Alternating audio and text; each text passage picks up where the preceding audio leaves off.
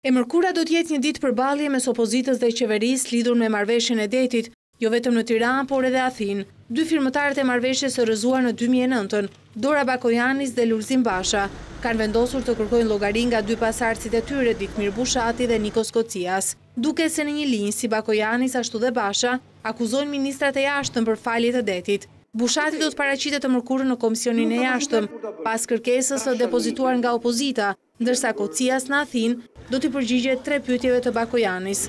Duket si një koordinim i qëndrimeve të dy opozitave në Shqipëri dhe Greqi, për të sulmuar nisjen e negociatave për një marrëveshje të re, por pyetja që shtrohet është, a kërkojnë realisht Basha dhe Bakojanis të mbrojnë interesat e vendeve respektive, apo interesat personale të asaj që nga Partia Demokratike cilësohet si një marrëveshje e mrekullueshme, ndërsa nga Bakojanis si state of art. Bushati Kocias apo Basha Bakojanis? Beteja vazhdon.